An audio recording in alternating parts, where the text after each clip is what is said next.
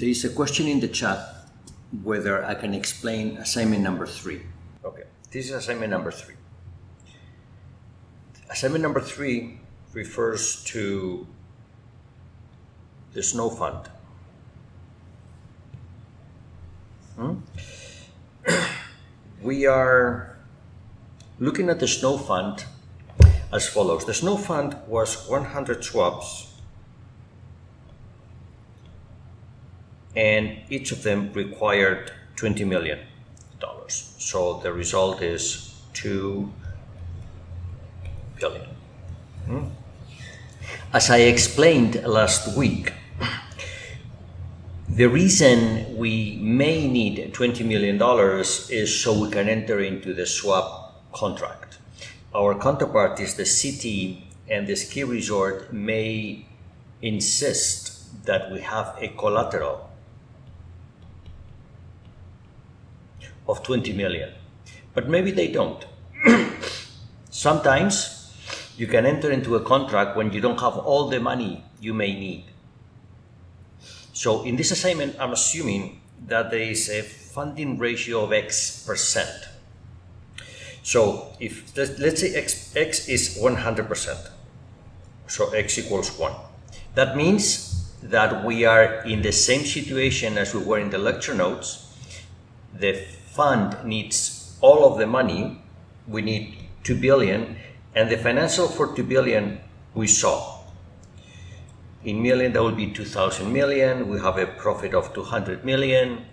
And then there was some, um, I think we're 7.2% return. Remember this? Okay, we saw these financials.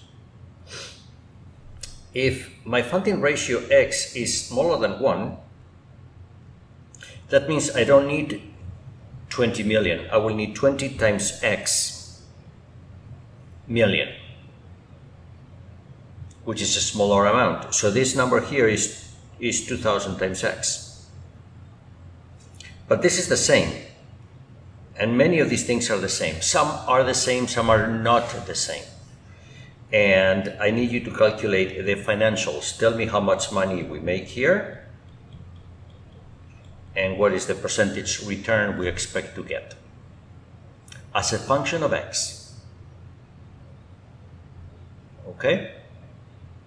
Okay, let's see if this is clear. Is this clear?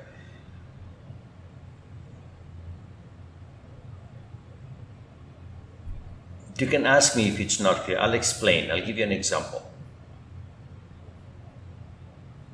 I just don't know if this is too easy or too difficult. You have to tell me.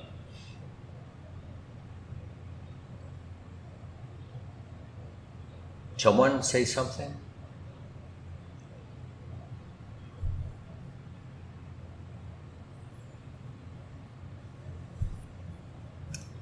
I'm to check the chat. Okay. Yes, okay, so it's understood. Hmm? I'll give you an example. Let's say that X is a half or 50%. We only need half the money. For each swap, we need $10 million, not 20. Then my financials would be, I will have $1 billion. I have 200 million of expected profit. I'm going to be paying a 1% management fee. That's $10 million. That gives me a profit of 190. So I'm going to pay 20% of 190, which is 38 so that is, I think is 48. And that means that I'm going to make a profit of 200 minus 48, which is 152, I think. Okay? That's 152 over a $1 billion investment. That's the profit. And that means a 15% return, 15.2% return. I think I did it right. Maybe I made a calculation. I'm improvising, okay? If I made a calculation, you have to fix it. But, I, but this is how it goes. You see, the profit goes much higher. The profit goes much higher when, when I'm allowed leverage when I can invest less money because my profit is the same. My profit is the same because I'm still entering into 100 swap contracts. My profit is the same, but I invest less money. So this is higher. I need you to come up with this number as a function of x. I need you to model this financials as a function of x, okay? Okay, I hope it's clear. If you have any questions, feel free to ask me and if the, this is an important assignment. So if you have some difficulties doing it and you need more time, you just tell me and then I will give you more time. I can explain this again next week, okay? But this is an important assignment. It shows you that with leverage, you can increase the performance. Now, I have included here another, it says extra points, determine the probability of default. What does that mean? This is excuse me, this is only for extra points. Hmm? And this, if you want to do this, you'll have to do it later. You don't need to do it now. You can do this before the end of the course, okay? Before the end of the course.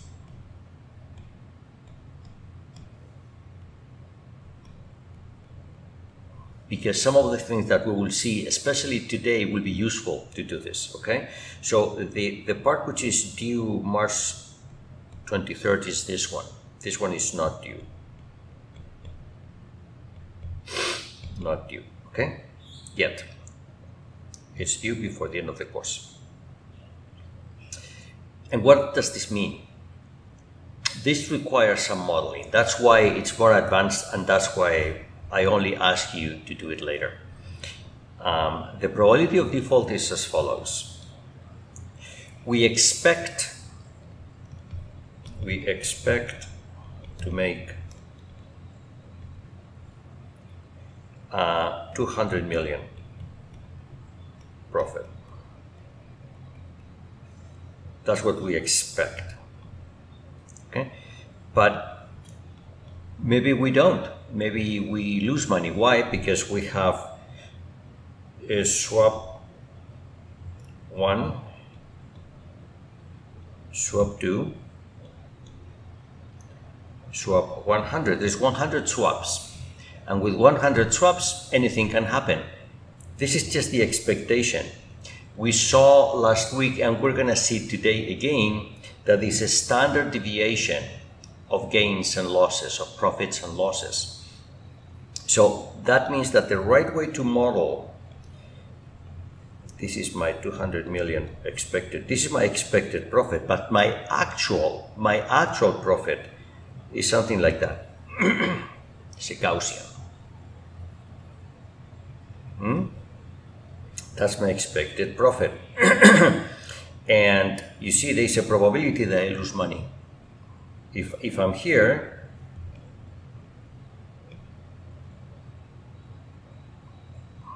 I can lose money.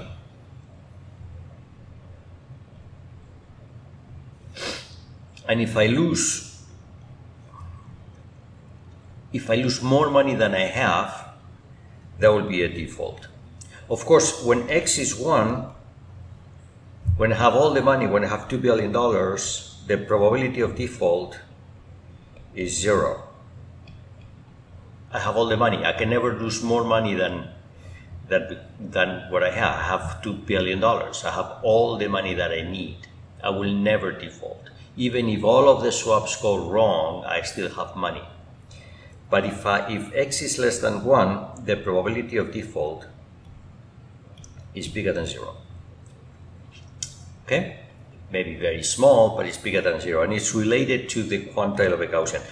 We will, we will learn this later. Don't if you want to do this, this is for the end of the course, not for now. You will learn how to do these things later. Hmm?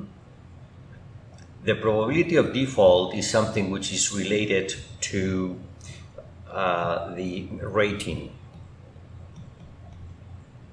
of the fund. Okay, so for example, you know what the rating of a bond is. You know the rating of a bond? Yeah. So I mean, some bonds are rated triple A, some are rated C. For example, right now you probably have read in the news that the Russian bond has been downgraded. Downgraded. That means that the rating is lower. Probabilities of default can be turned into ratings, and they express the probability that the counterparty will not pay. You may have read in the news, I'm not sure, that um, Russia had a bond coupon payment due yesterday, and there was some uncertainty whether they would pay. They actually paid, so there was no default. Okay, so when you owe money and you don't pay, it's called default. Hmm? Okay, this is a very interesting area, but we're not going to talk about it. Uh, but this assignment connects with it. See if you can do this, and if you have difficulty, I can explain this to you again. Okay? All right. Any any more questions on the assignment?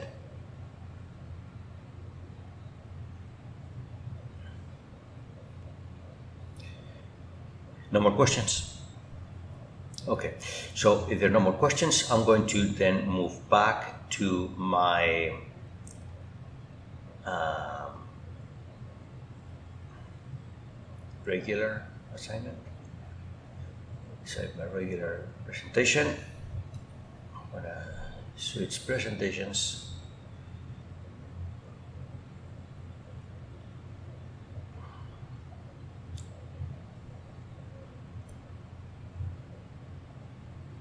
Okay.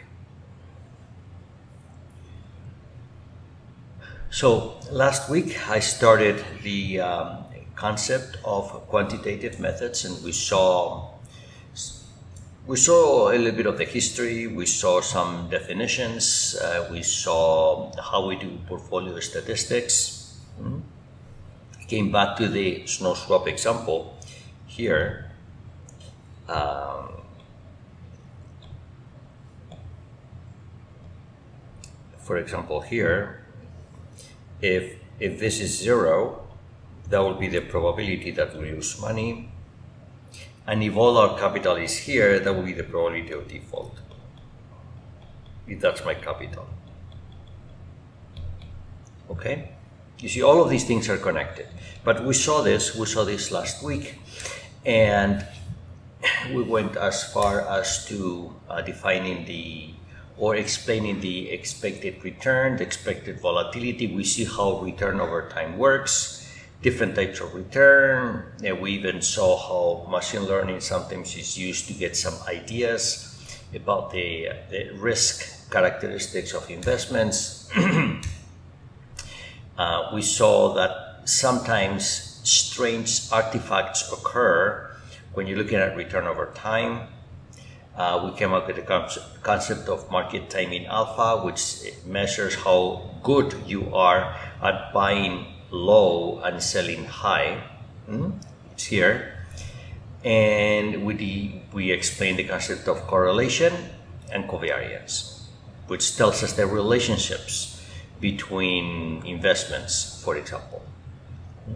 And we saw this formula that expresses portfolio volatility in a matrix algebra form involving the variance covariance matrix and the investment allocations to each of the assets. And this is the one that shows to us that when correlations are small, risk goes down. Okay, so risk goes down as correlations go down. And this is very important because the concept of diversification, which is so important when you invest, this is the reason why it works. And I make the connection between this and our snow fund because in our snow fund, the correlations between the swaps were zero. That means that when you apply this in this formula, that's why the, the correlation of 100 swaps being zero meant that the standard deviation was the, the, the square root of 100, not the square, not 100, a square root of 100 times the individual swap. And that's why the risk came down from 50% down to 5%. That reduction of risk comes from the concept of diversification. Okay? And you can see here. This is the square root formula that gives us that. This is what we saw last week. We ended here. Any questions? All right, so what I'm going to do now is everything that you just saw is something that Markowitz knew in 1952. So he used these concepts to create a new way of investing. That was the beginning of quantitative investing.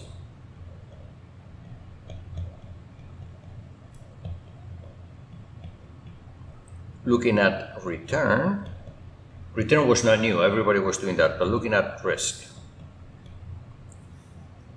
Okay, so the first person to look at risk, that was Markowitz.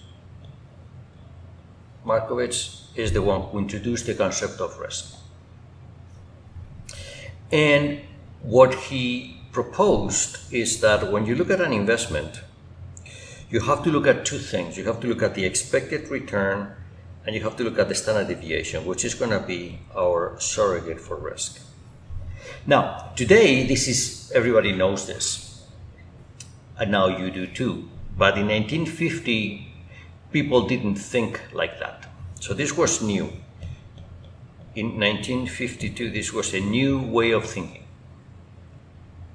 And it's a very important way of thinking because we're dealing with two, two quantities, two parameters, return and risk. And as you know, when you're dealing with return and with risk, when you're dealing with two variables, calculations are more difficult because you have to think in two dimensions. People are usually used to thinking in one dimension. Now we're going to think of two dimensions. Okay? And this is how he saw this. This is his two dimensional way of thinking, two dimensional way of thinking. I have the standard deviation on this axis, which measures the risk. And I have the average return on this asset, which measures profitability.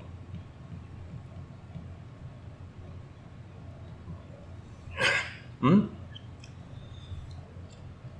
when you have a portfolio, and I have some portfolios here in front of you, for example, this portfolio here corresponds to 75% bonds, 25% stocks. Hmm? This has a certain risk, which is low, is the lowest, lowest risk, and it has a certain expected return, is right here.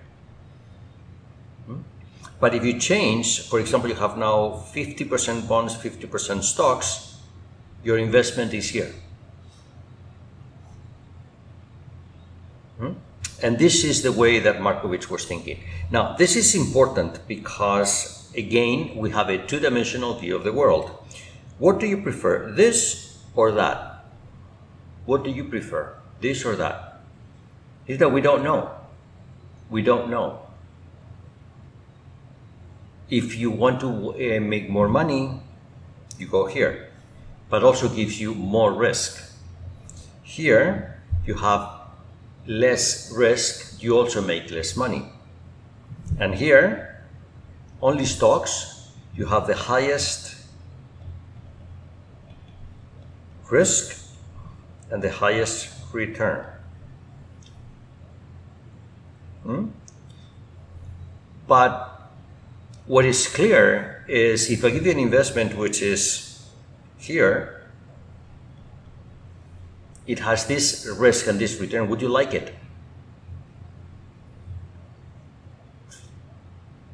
You probably don't because this one is better, gives you better return, same risk. This one is also better because it gives you same risk, sorry, same return, less risk. Hmm? If we look at our snow swap,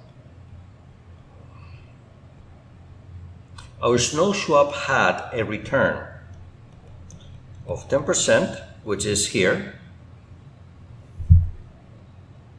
and it had a risk of 50% originally. With only one swap, it was 50%. It was way out there, 50%. Our investment was there, was very bad. When we have 100 swaps, that's one snow swap. When we have 100 swaps, what we saw that it was here. It was 10% return and 5% standard deviation. So 100 swaps are here. Is this clear? One swap way over there, 100 swaps way over here. This is good. So this is good. This is not good. This is what Markowitz did, 1952. And we're going to take that approach to look at investments and understand what we're doing. Okay. Um, so what you have here, this is called the capital asset pricing model curve, CAPM curve. And you can see that if you have only bonds, when you add stocks, the risk goes down and the performance goes up. And then the risk goes up and the performance goes up.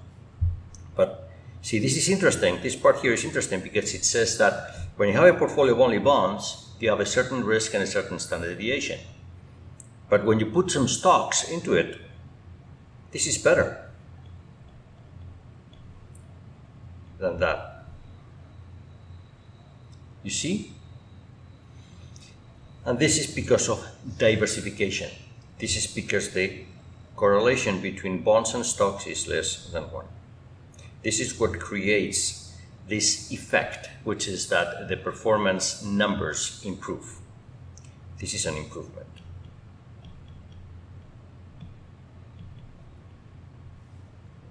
A clear improvement, okay? This point here is strictly better than this point here. Okay, so you can take this beyond stocks and bonds, and you, what you can think is of the following thing. Look at all the possible investments. Look at all the possible investments. All. Look at all possible investments. We look at, we only care about the risk and the return. We only care about the standard deviation and the expected return. So every investment gives us a point on this plane. These are all the possible investments. Okay, whenever you're looking at an, at an investment, whatever it is, good or bad, what Markowitz says is you put it on this plane. They're all here. They are all here. Now what? When all my investments are here, it turns out that you look at the resulting group of points that we have, and there's going to be an area where there are no points, no portfolios. There are no portfolios. There's nothing there. These are the area which are too good to be true. They are too good. There's nothing there.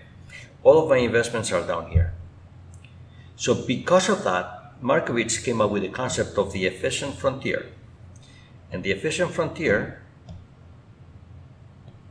is the boundary between the points that exist and those that do not exist. That's the, that's the definition of the efficient frontier. If you put all of the portfolios which, are, which exist on a plane, suddenly this efficient frontier will emerge. And what Markowitz said is that you want to invest always there always invest in the efficient frontier. Always. Why? We saw that already. Let's say that I look at this investment here. This investment is suboptimal. Suboptimal. Okay, meaning that there is a better investment. There's actually two investments which are guaranteed to be better. Two. Which ones are those? Can anybody write this on the screen? Show me two investments which are better than this one. Better than this one. You can write on the screen. Can you write an investment which is better than this one? There's two.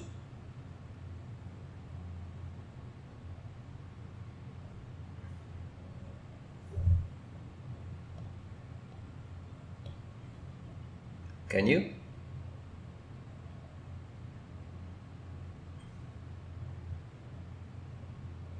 Anybody can write on the screen. So what investment is this one? This investment is better. Why? Has the same risk and better return. There's another one which is also better. Which one is it? Anybody can rate on the screen?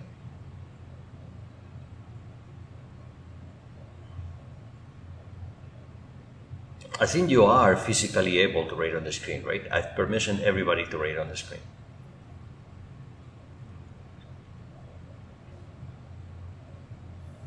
Another one is here. Why is this better? Because it's the same return as less risk. Risk is bad, return is good. So, according to Markowitz, this is suboptimal because either this one or that one are better. So according to Markowitz, you don't want to have this portfolio as an investment. You want that one or that one. The one above or the one to the left. But that one is suboptimal. Is this clear? This is very important. Everybody needs to understand this. Everybody. This is the way Markowitz was thinking about investments. And we're going to be using this in all our thinking because when we want to construct an optimal investment portfolio, optimal investment strategy, we're always going to think like this.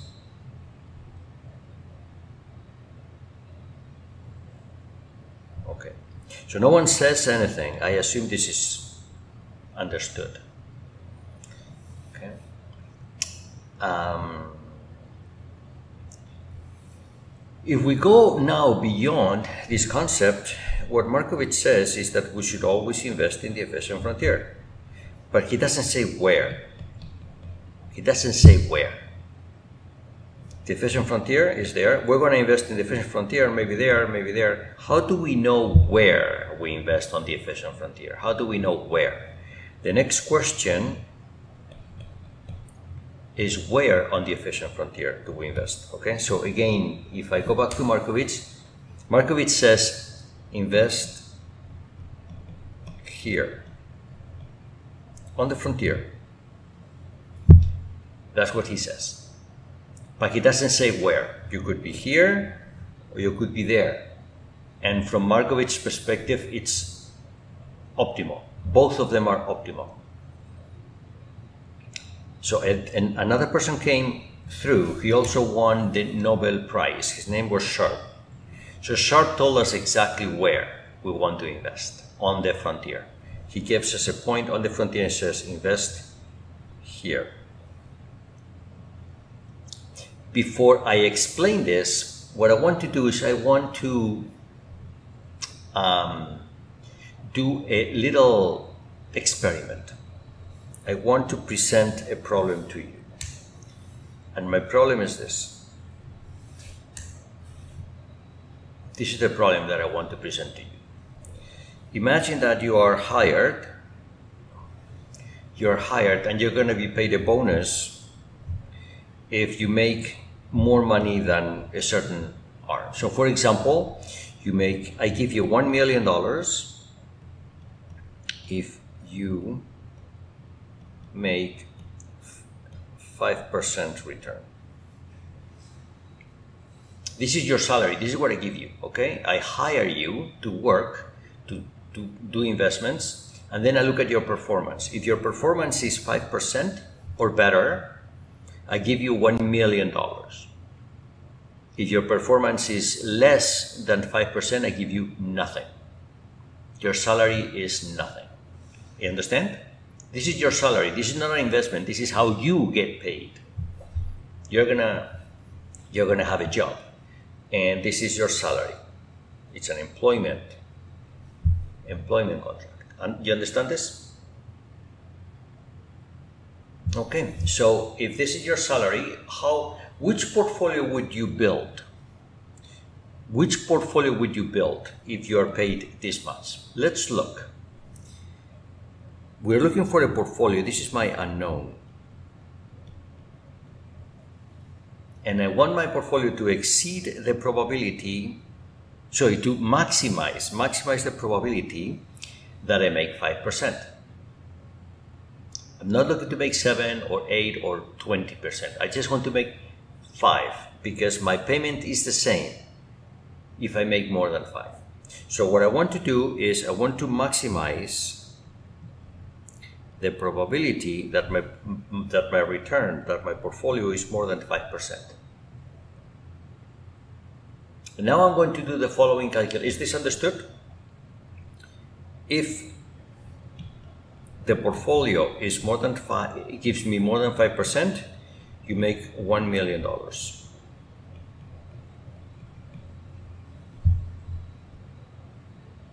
This is your salary, this is your job. Okay, so what I'm going to do is this I'm going to assume my portfolio is Gaussian or normally distributed.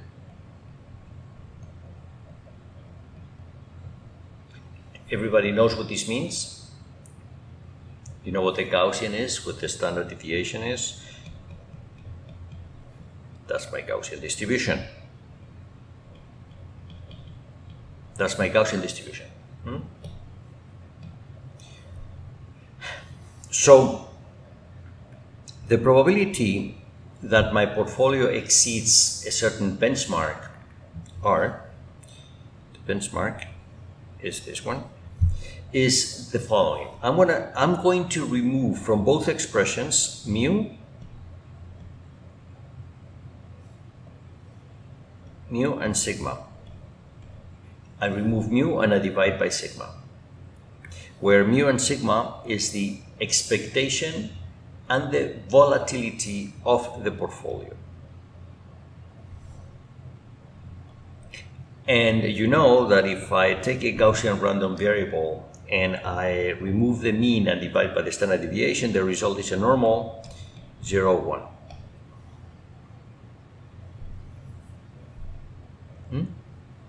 Therefore, what this tells me is the probability, this is the same as the pr probability calculated with the cumulative distribution of the Gaussian. The cumulative distribution of the Gaussian, phi, of a certain point is the uh, integral of the Gaussian variable. You must have seen this. Yes? By the way, this is uh, what you would need to calculate the probability of default of my fund, the snow fund, when there is leverage, the part two for extra marks in assignment number three. Is this clear?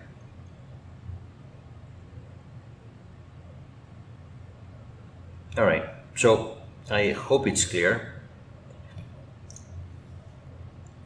Because this is now independent of my portfolio, this is just my Gaussian, this can be expressed like that, where this is the cumulative distribution of the Gaussian. The cumulative distribution of the Gaussian is a function which is increasing, is increasing. Because it's increasing, if I want to maximize this, I want to maximize what's inside, which is this. In other words, this is something very important, a very important consequence of all of this thinking, which is that maximizing this number will maximize the probability that we get paid a bonus. Okay? Maximizing this number is maximizing the probability that we make a bonus. So this number is very important. And this number is called the Sharpe ratio. Remember, this is the Sharpe ratio number that we saw as we explained the snow swap. We saw that one snow swap had a Sharpe ratio of 50%, one half. Oh, wait, one half.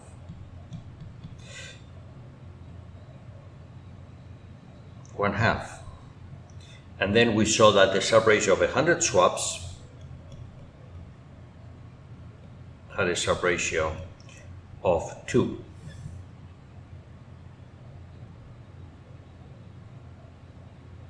Okay. Actually, no, that, was, that wasn't what half. It was um, 0.2.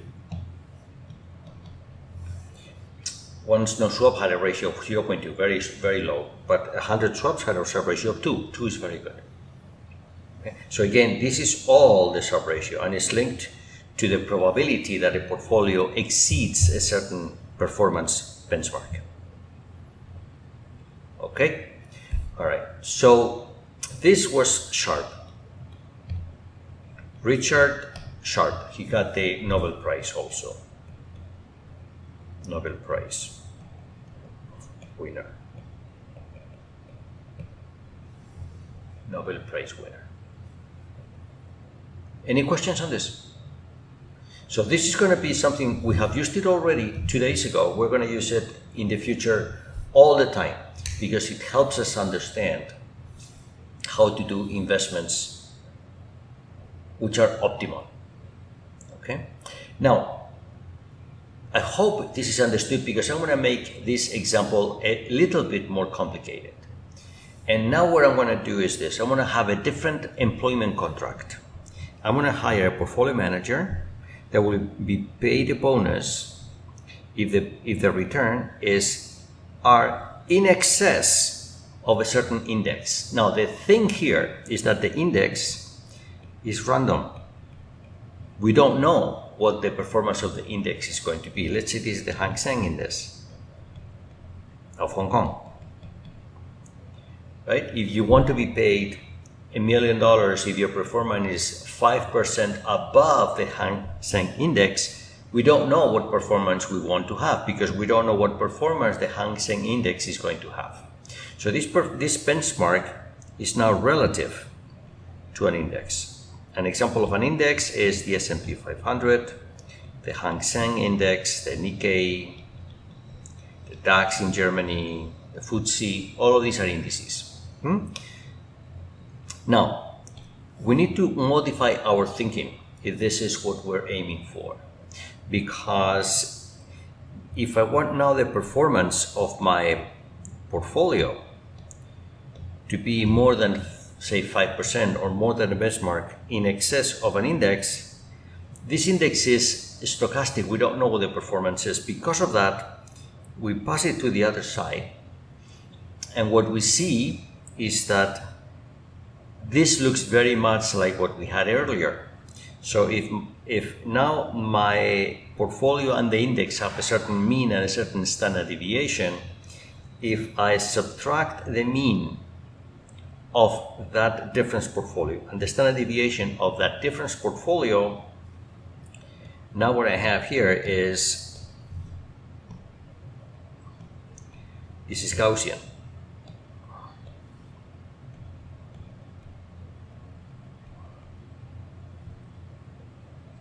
And because it's Gaussian I can apply the same argument as before and I get this to be the probability of exceeding that performance and if I want to maximize that, I maximize this. Now, and this looks like the Sharpe ratio, but it's different. It's different. On the one hand, I have here the difference of expected returns between the portfolio and the index. Hmm? I have my benchmark. And what I have down here is something very interesting. It's the standard deviation of the difference of the tracking is this is called the tracking error between my portfolio and the index. So this is interesting because it says that I need to have a portfolio which is for this thing to be high. This will be high when this is low. So if I want a portfolio which makes this ratio high, it has to track the index very closely. This number has to be low. you understand that? This number has to be low so that the ratio is high. So I have to track the index very closely.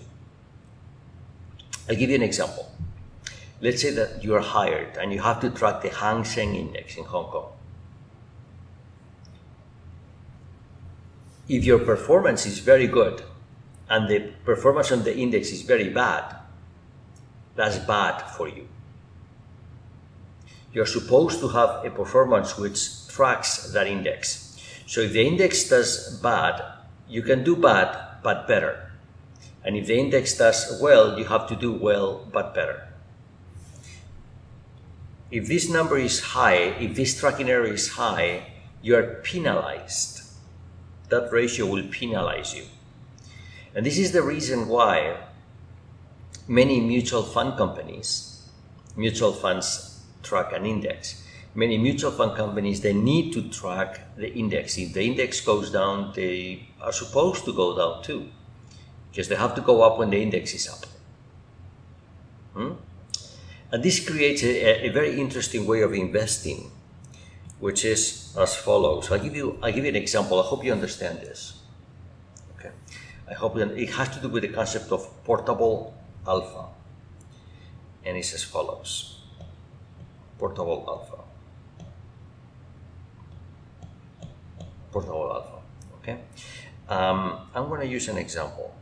How can I, if I go to my previous example, how can I achieve this? How can I achieve this number to be high?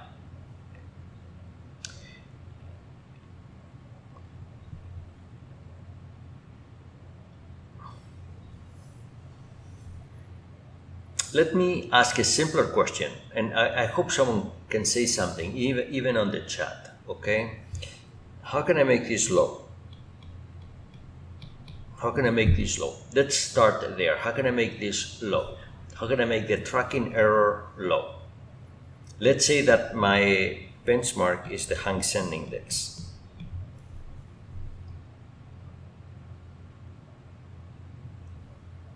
I'm going to for example, buy Hang Seng index futures. Do you know what index futures are? Yes or no?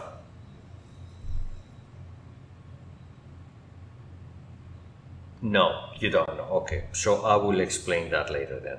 Let me continue and then I will explain uh, what uh, futures are. Okay. In fact, maybe I can, maybe I can show you let me see if I can find it, okay, online, and maybe I can show it to you now. Give me a, I'm going to stop this share and I'll show you something. I, I, I hope you know what I'm talking about, but I need to make sure. And for that, I'm going to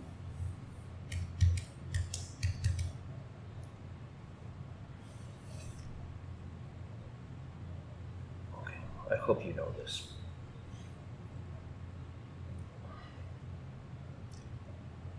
Hope you know this. I'm going to go here and I'm going to share my screen. I'm going to share this.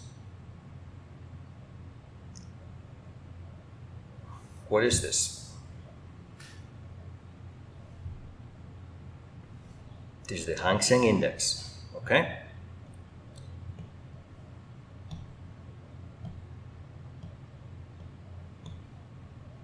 The Hang Seng Index. Um, the Hang Seng Index already closed. It closes at 4 p.m. Hong Kong time. It's closed. Okay. Um, and when this index is closed, like now, you can trade futures on it. Okay. In fact, you can trade futures on it for delivery a few months from now. In, a, in you, you can have a contract. We're going to see futures a little bit later, okay, but I'll explain now, which is you can buy futures on the index. And the futures that you buy on the index are essentially free, very cheap. Hmm? And this has the property that when the index goes up, you make money, and when it goes down, you lose money. And you can do this without spending money. You can enter into a futures contract very inexpensively. You only have to put margin, which is about 10% or 5%, depends on who you are. Okay?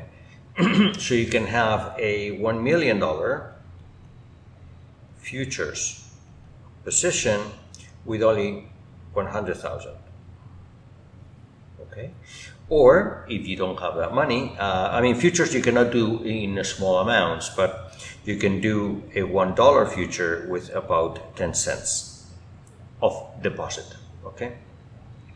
So it's an inexpensive way of doing uh, futures on the Hang Seng Index. So this is a typical benchmark. This is a very oftentimes used benchmark.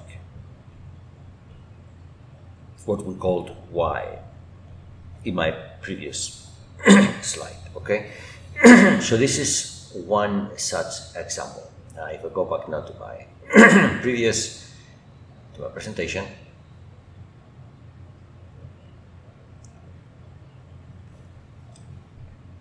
that would be an example.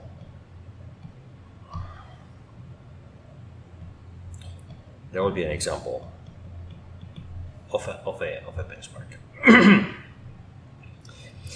And what this means, this way of thinking means that I can construct a type of um, investment which is portable alpha. Imagine I do this. Imagine I have a portfolio which is Hang Seng futures plus that other portfolio that gave me 5%. Then this is the way to optimize my portfolio because the tracking error is now the same as the standard deviation of this portfolio that gives me 5% and that's low. And because I have this 5% return here, my excess return to the Hang Seng is 5%. So this is a good way of constructing an investment, which is I divide it up into two parts. One part is the index and one other part is what's called alpha. We're going to see why it's called alpha in a few minutes. Hmm? And this way of constructing investments is called portable alpha. I divide my investment into a futures contract on the index and then something that just gives me a return independent of the market. We're going to see how this is done. We're going to see an example. Okay? Okay. and this tells me a way to classify all of the investments that exist. Um, there are investments that create alpha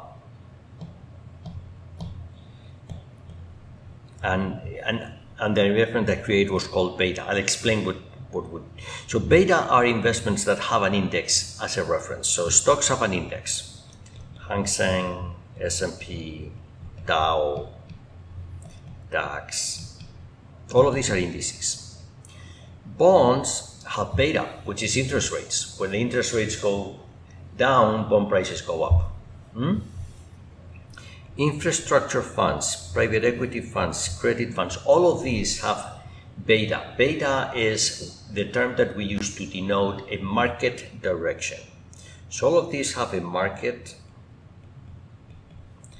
direction. Here are interest rates. Here are indices. Okay. Here we have credit rates. All of these are elements that have a market direction. And alpha are elements that don't have don't have a market direction. And this is where the interesting investment strategies occur. They don't have a market direction. And as I said earlier, most of the investments that you have is something that has a, a, a market direction here and something without a market direction here, alpha and beta. Hmm? All right. Um, we already saw an example of an investment without market direction, and that is our snow fund. Our snow fund has no market direction. Why? Anybody can explain why? The snow fund is here, has no market direction. Imagine that the Hang Seng index goes up. Do we make money? Maybe. Imagine the Hang Seng index goes down. Do we make money? Maybe. Our performance, our profitability doesn't have to do with the way markets work. The Hang Seng index could go up or down and we can make money or not. It's independent. This is the characteristic of alpha investments. They have no market direction. If I invest in stocks, stocks will have a beta component and they will have market direction. Okay? And a way to measure beta is through correlations.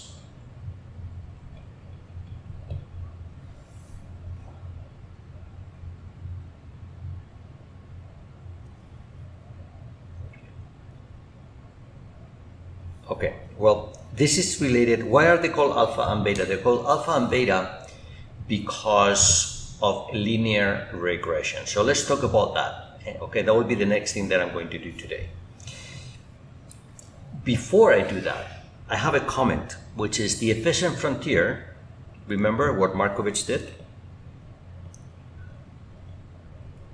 The efficient frontier of Markowitz, when you introduce an investment with alpha, it moves up. It's very interesting. We will see this. Okay, let me just move on to another thing.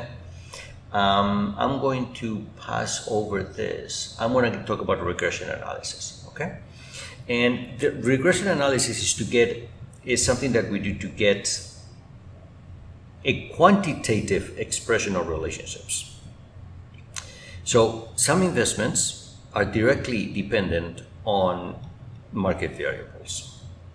Others are not we're going to see both. The interesting ones are here. Investments are truly hedged and not, not directly dependent on external events, like for example our snow fund and others that we will build. Okay? And a way to detect this is through regression analysis. Regression analysis is a mathematical concept that tells us that. Write in the chat yes or no if you know what regression analysis is. Maybe I can do this. Let me see if I can do this on, on Zoom.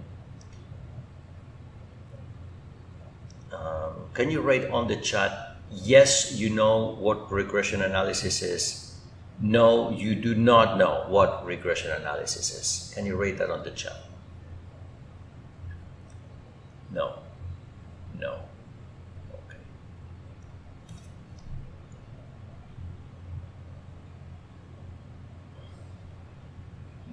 Three people say no. Please write everybody.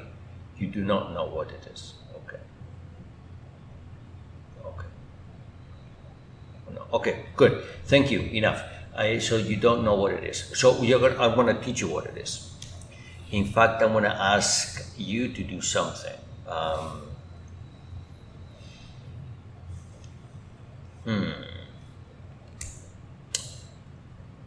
Okay, let me, let me, I, I need you to understand this. This is very important. I need you to understand this. And for that, I'm going to do, do I have a volunteer? Someone wants to talk to me about stocks? Do I have a volunteer?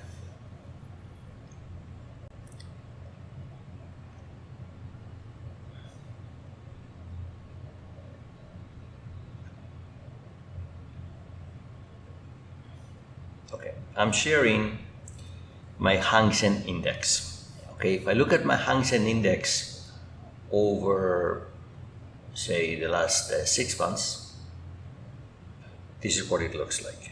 Okay, if I do this over the last five years, this is what it looks like. Okay, it comes up and it comes down. I can go to one of the tools that exists on the internet, for example, Google Finance, and I can see what the markets are doing today. And I'm going to do here Hang Seng. Hang Seng index is there. The same thing that we saw earlier, just on a different, different format. You can look at the last five years, and this has been the Hang Seng index for five years. Okay? All right. um, can someone give me the name of a stock in Hong Kong, if possible? Can you give me the name of a stock? Anybody?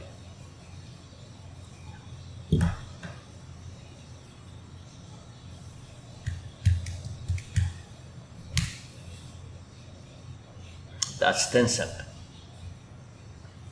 Okay, and then I can look at something similar. That's uh, the Tencent Holdings performance over the last five years. Let's say that I'm going to compare this compared to the Hong, the Hong Kong exchange. That's the Hang Seng index. Look at that. That's the comparison be between Tencent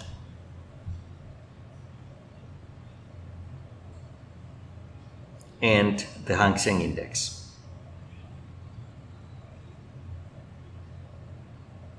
That's Tencent and that's the Hang Seng index. When you look at this picture, what strikes you? What do you see there which is interesting? What do you find interesting? Tell me. What do you find interesting here? Can someone say something? I would like for someone to say something. So have something in the chat. I'm going to check.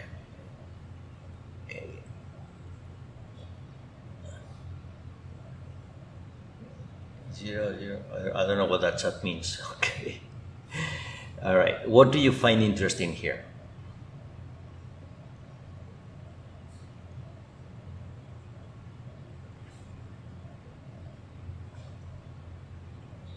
Say something. Their trends are similar. Correct. The trends are similar. See, when the Hang Seng goes up, sorry, when Tencent goes up, the Hang Seng goes up. When the Hang Seng goes down, it goes down. Then here they're more or less flat. Then this goes up, this goes up. This goes down, this goes down. The trend is similar. How can we quantify how similar the trends are?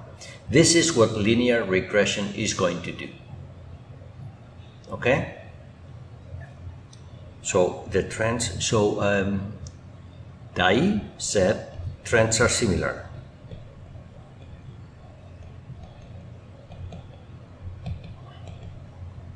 We're going to express how trends are similar.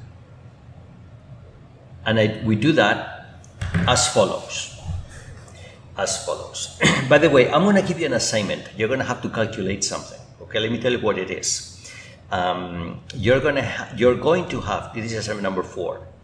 I'll just explain because I have this in front of me, and you can do this on your own. You're going to have to download the daily prices of Hang Seng and one stock.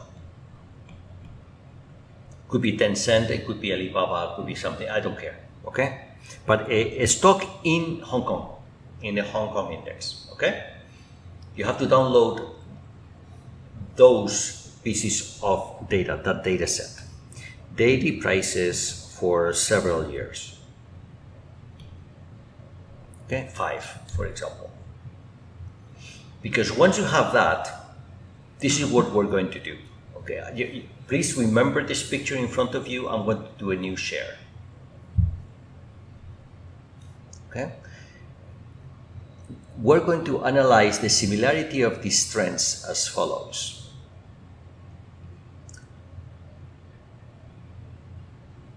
As follows.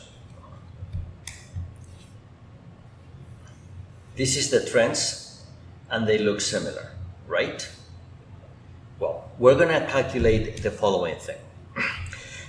We're going to take our stock. This is my stock. And we can do this with many indices. We're going to start with one, just one, okay? This we're going to, for now, remove. We'll come to this later. Hang Seng Index. And if this is my stock price, and that's my Hang Seng Index price, there could be a linear relationship between those. But we don't want prices here. It's very important that we do not do this with prices. There are statistical reasons why the price will not work. What we have to do here is we have to use the return. Return. I remind you the return was the price uh, today minus the price yesterday divided by the price yesterday. That's the return. And we'll have to use this formula for the index and for the stock. Not the price, the return. And this gives you a time series. For five years, that's going to be more about 1,000 points. 1,000 values. And when you have these 1000 values, you can express this linear relationship. You can say that the stock is equal to a number plus another number that multiplies the index performance. And this number is called alpha and this number is called beta. And this has to do with the alpha and beta that we used when we explained investments. Some investments have very low beta and high alpha, they're called alpha. And some have very low alpha and very high beta, and they're called beta for that reason. You will see that Tencent or almost any stock you take in Hong Kong will have very high beta and low alpha to the Hang Seng index. So they are beta investments because the beta is high and the alpha is low. Okay, so you have to find alpha and beta. Now, how do you find alpha and beta? You have not seen linear regression, so this may be new to you. I don't know, maybe you saw it and you called it a different way. This is not algebra, this is not mathematics, this is not a system of equations. Why? Because these are random variables. So when we say that my, my fund,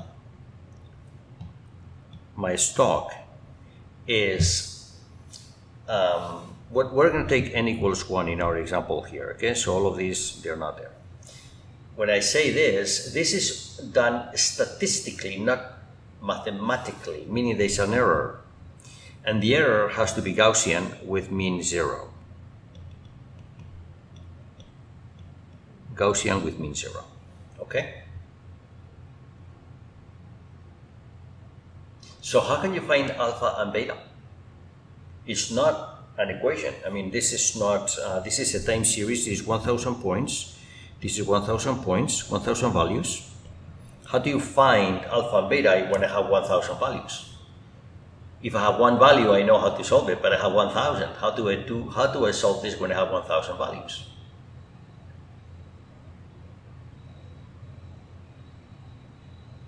I find it statistically it's for the case of only one, this is the formula, okay? Beta 1 is equal to the covariance, it's right here, between my stock and the index divided by the volatility squared, the standard deviation of my stock. It's right here. If you use Microsoft Excel, Excel will do this for you. Okay, you don't have to calculate this. You don't have to calculate the variances and the covariances and this and that. So what I want you to do, assignment number four is going to be you have to pick a stock and you have to pick the Hang Seng index and you have to calculate alpha and beta. This is how you do beta.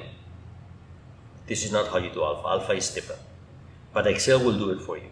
So I need you to do that. Okay, that's this, that's what you're going to do. And this is very good because this is going to be our way of starting to analyze the relationship between investments, and this is very important. You saw that the trends are similar, and the similarity is expressed here. This is the similarity. This is the similarity. There's another way of looking at these things, which I have here. if you look at the numbers of again, we're only looking at returns, returns, returns. Okay, only returns. When I look at returns on a daily basis, and I put them, for example, here on a plane, and this is the actual returns. You see, Sometimes they are high, sometimes they're low. And I put the returns of my stock and the index. You see that when, when one is high, the other one is high. When one is low, the other one is low. So when you put them here, the regression line is the one that best fits all of those points. That's another way to understand this relationship. Hmm? If you look at this with a magnifying glass, you will see what we have here, which is that the line doesn't go through all the points. It can't. There's no way. Okay, but it does gives us a fitted value, meaning the actual point that you have in that two-dimensional plane has a point which is closest to it on, the, on, on that line. And that's the, that's the fitted value.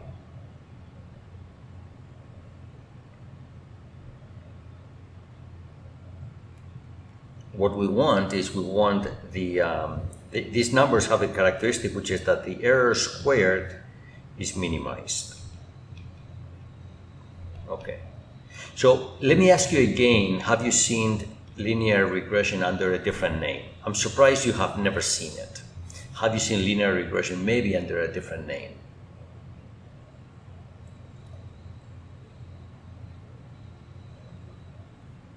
Yes or no on the chat. You already said no, but maybe you used a different name. Now that you know what it is, have you seen it before, maybe under a different name? Have you seen it before? Yes or no in the chat?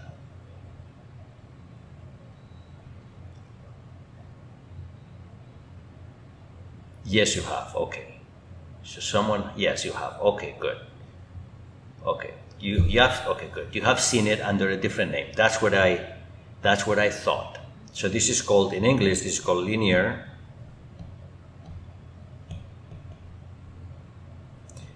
regression, okay?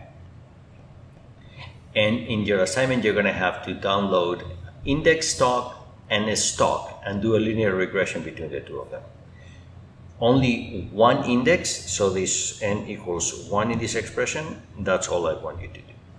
Okay? Okay, that's good. Okay, so you know this. This is better. I was a little scared knowing that you have not seen this. Okay, any questions? So this is clear, you know this. You can do this in multi-dimensions. I mean, the formula that I saw here is in, in, in, in many dimensions. You can do this in multi-dimensions. In multi-dimensions, you have betas, which could be positive, negative. This is difficult to do okay but uh, you probably have seen it also in multi-dimensions. Uh, the method that you would use will work just the same when you're doing this in multi-dimensions. Hmm? and just that in multi dimensions, you have not one beta you have many different betas. One alpha though. Alpha only one but many different betas. Okay? Okay. All right. I so what comes after this is non-normal returns and I don't know if I want to start that now or I want to make sure that you understand this. So let me, I, I want to make sure that all of this is understood. I feel relieved that you have seen linear regression uh, before. Hmm? So I'm going to assume that you are able to download the data and perform linear regression. Have you done, let me ask you another question, please answer in the chat. Have you done linear regressions before by downloading data yourselves. Have you done it?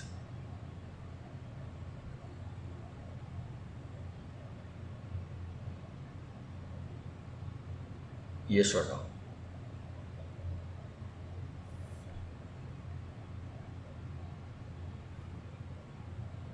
No. No one wants to say something? Yes, you have. Never download. Okay never download. So you can download in many different ways. Um, I don't know which one is most popular in China, but there's many ways of downloading daily data. Uh, Google will give it to you, Yahoo will give it to you. I'm sure that there are, you know, Baidu may give it to you. I don't know. Okay, so see if you can find it. If you have difficulties, you let me know. Okay, all right. The thing about linear regression, and this is the important thing, we're, you're going to do this, and it's all very good mm-hmm, and very useful. However, however, um, linear regression is based on one assumption, which is that all of these returns are normal. Okay, normal means that they have a distribution which is the Gaussian, this one. Okay? The returns have to be normal. If they are not normal, then linear regression doesn't exactly work and other things don't exactly work. Because of that, we have to look at what happens when returns stopped being normal. So what you have here is a picture of what returns look like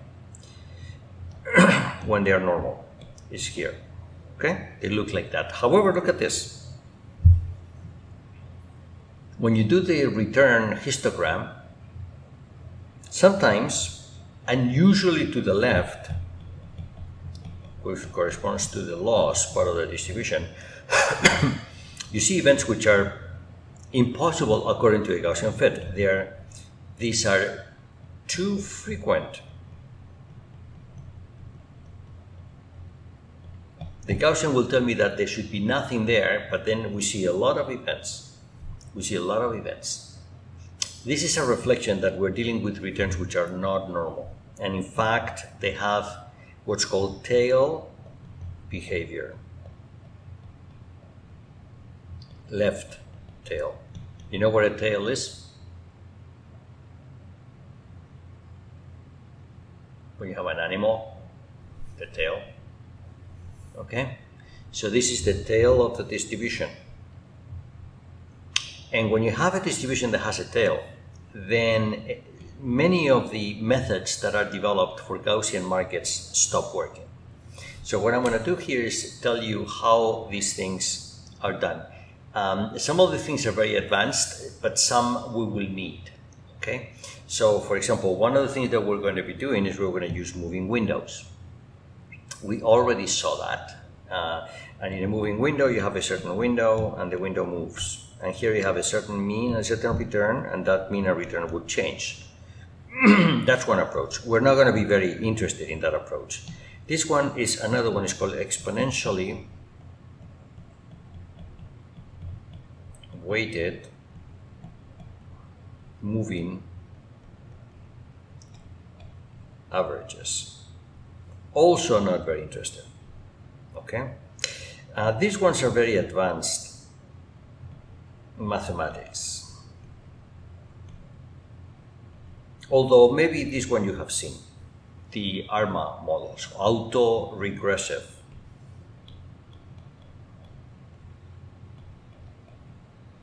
Maybe you have seen auto-regressive models, maybe. We are not going to adopt this perspective. We're going to adopt a different perspective, and a perspective which is more focused on investments, okay? The first comment that I'm going to make is there is a concept called the semi-standard deviation. And what the semi-standard deviation is is as follows. It's a bit complicated to explain, but I'm not going to be interested in it. I'll just tell you in case you run into it. What you do is this. Every month you look at, or every day you look at your returns. These are the actual returns of your investment. And then you set a benchmark, usually zero. And when you have a number which is a loss, this thing here means that you only look at this number when it's positive. In other words, you look at this number only when this number is negative, when you're making when you're making losses. Hmm? So this is, it looks like the standard deviation, like the standard deviation, but only in the bad months, only in the bad months. In other words, when you're above the benchmark, when it's good, when it's good months, it is not part of the calculation. Okay? So it is a fragmented expression for the standard deviation where you only consider the bad days or the bad months. And then you divide like this, like the standard deviation, you take the square root. Okay, this has a name, it's called the semi, semi standard deviation. Semi because here you take only some of the points, not all of the points, only the bad ones. Okay, so only if the return is bad, only. So some people use this when you're dealing with non-Gaussian markets. The reason is why. The reason is when you look at a, for example, a graph like that, these things are part of the semi standard deviation and this part is not. See? But we're not interested in that. In this course, I'm not going to be interested in this because there is very limited use of what you can do with this, and what you can do with this is not very useful, not very interesting. Okay? Um, another thing that people do with the semi-standard deviation is you go to the Sharpe ratio, which was mu minus r divided by sigma. Oops. Mu minus r divided by sigma. Okay? and they replace the sigma by the semi-standard deviation. We're also not going to do that. We are not going to do it, okay? There's also some misunderstanding as to what this means. We are not going to use this in this course. What we are going to use is other things. We're going to use moments. What is a moment? What is a moment? A moment is this. The mean is the first moment of of a distribution. The standard deviation is the second moment. You can have the third, the fourth.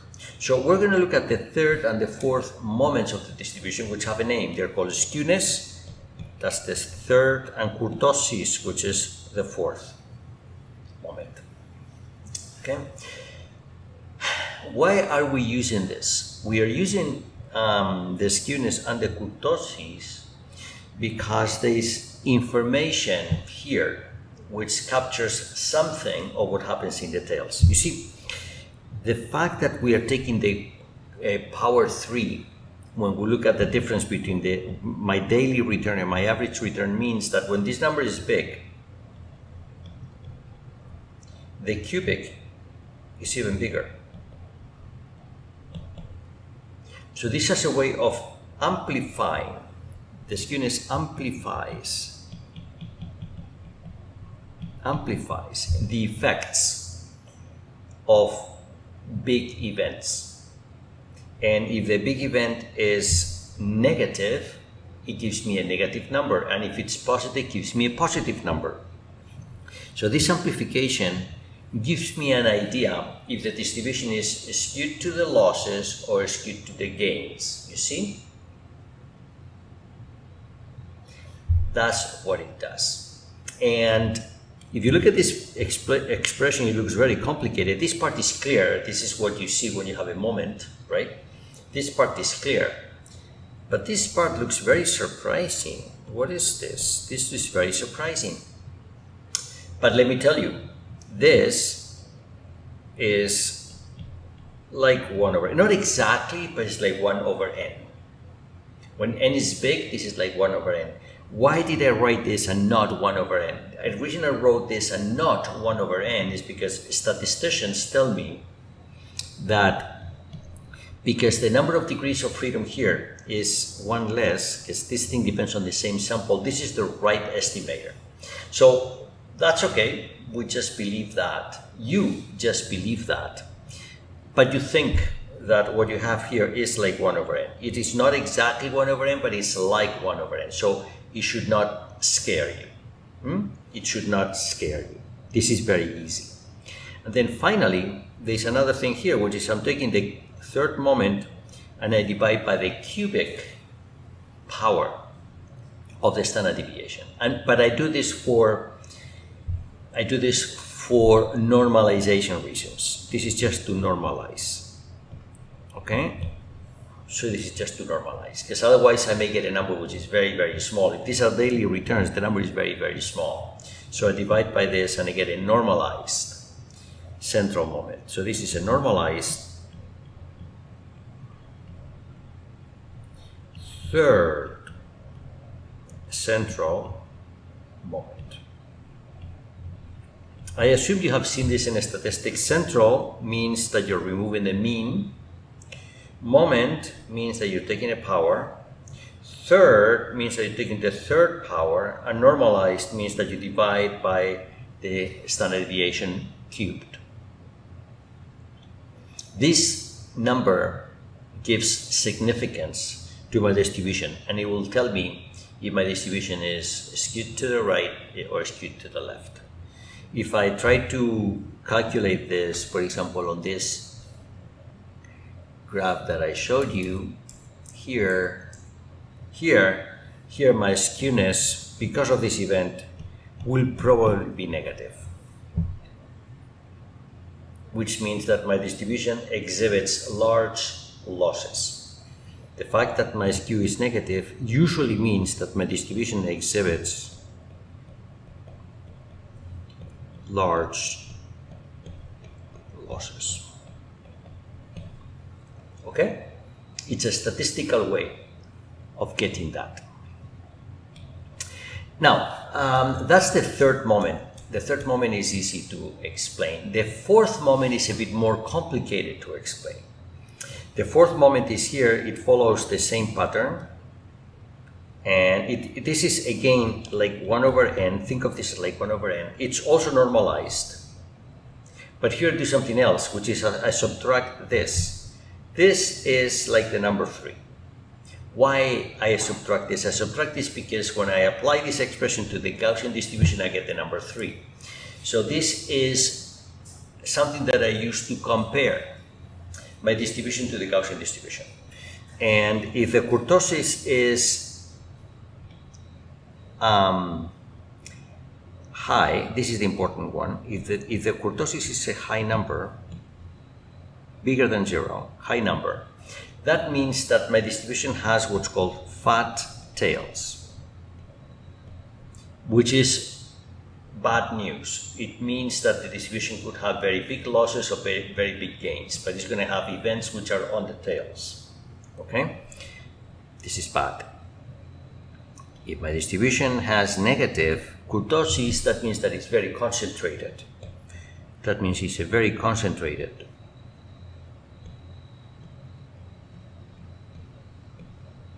It's very concentrated. Everything is very narrow. And if it's uh, zero, it's like the Gaussian. Not a Gaussian, but like the Gaussian. Okay. Now, uh, so this is important, but a little bit less. Still, these are important numbers to consider. Hmm? These are important numbers to consider, but sometimes they give us important things and sometimes they don't. Okay, sometimes they give us important things, sometimes they don't. This is where I mentioned that this, from a statistical perspective, this is like 1 over n, that's like 1 over n, and this is like 3. Okay, but these are the actual exact numbers, but you don't need to know that. I am not going to ask you to do calculations with the, um, skewness or the kurtosis, and in particular, I just want to highlight one thing, which is that the skewness and the kurtosis, some people use them but you have to be very careful because the power 3 is a very big power. When you look at the kurtosis over time, you would see that sometimes it has these jumps. Why? These are outlier events. Outlier is a large extreme event.